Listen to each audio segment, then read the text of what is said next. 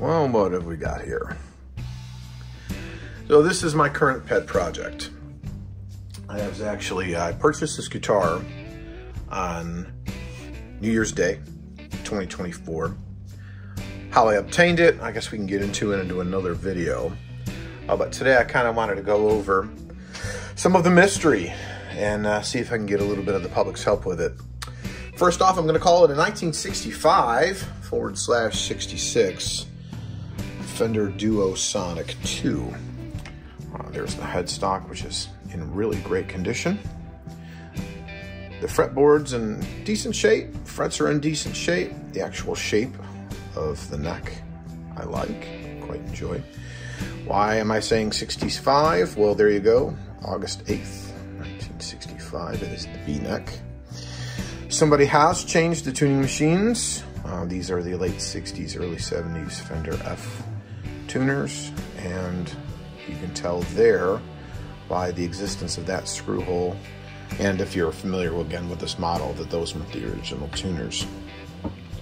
Uh, I guess that's a good time to kind of mention that. I've been around vintage guitars for basically all of my life. Uh, but this isn't a model I'm real familiar with, so that's again why I'm looking for public health help, health. I'll take it both.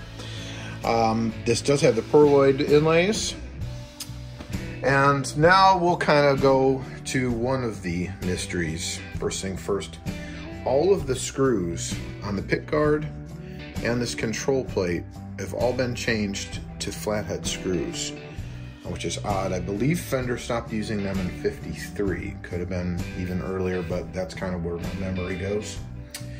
Um, and like I said, even in this control plate, they've been changed to flathead as well.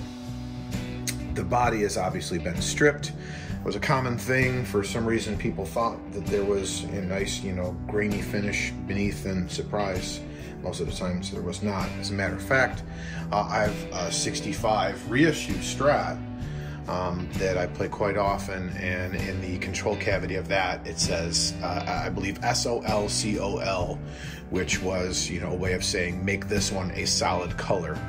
Um, that one is a Olympic white. Uh, but just a footnote, uh, so the first body modification that I notice here is it's got, you know, kind of a snake bite, a weird pattern too, and I can't quite envision what that could have been. And I know a lot of times that the Duo Sonic 2 was kind of converted or they added the Mustang uh, bridge to it so it had some sort of tremolo. Uh, but those, if I'm not mistaken, those were this width of the screw hole and I'm not sure why it would have been back that far. So if there's something I'm not remembering, uh, or something that you recognize, please leave it in the comments below. Uh, the next thing is, is the pick guard.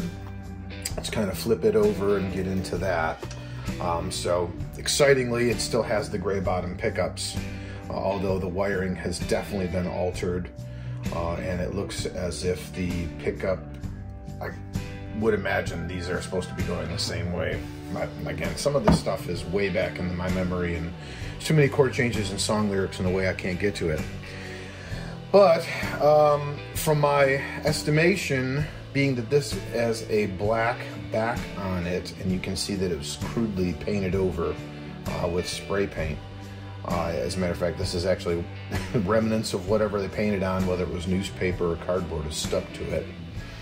Um, my memory seems to remember if it had a black back like that, that it would have been a tortoiseshell or the uh, pepperoni, air quotes, guard. Um, and I did take a, a, my razor and just kind of see if I could chip away some of the paint there, and it does appear to be red. I'm not sure if that'll come out in the camera. Um, but that kind of brings us to the next point, is my very light internet research and my memory says that if it had white pickup covers, it was probably Olympic white. The other two colors were Dakota Red and Daphne Blue. I think. Um, could have been Sonic Blue, but Daphne Blue and Dakota Red we're going to stick with for now in Olympic White. The only mystery then is why aren't these switches white as well, because that's usually how it went. And again, this thing's older than I am by well over 10 years. So I'm assuming a number of things could have been changed over time. I don't know. I kind of just don't want to do any more internet digging around. I figured I'd put it on uh, on the old interwebs here and see uh, if I can get some advice from folks or whatnot. So please leave it in the comments below. I will try to remove the paint uh, from the pit guard. If I'm successful, great. If not, uh, I do see where a couple of repros are reasonably priced, and there are some originals that are out there that are not so reasonably placed, priced. Uh, but I would consider doing so based on what I already have into this. Also, the original tuning machines, I think I'll leave, although that um, ferrule needs to be replaced, I would assume. Although it works. Uh, and my question for you is, do you agree? Do you think it was Olympic white? Should I paint it Olympic white? I did run the serial number and on the Fender website and didn't come up with anything. Uh, it also threw me off because I thought that was an L at first. I'm like, wait a minute, an L series F plate. But in fact, it does appear to be a 1, 119376. So yeah, leave it below if you think I should paint it and if you agree that it was probably Olympic white. Um, and if you're along for the ride and the restoration of this, then please like, follow, and all that stuff. I appreciate it, guys. Thanks so much.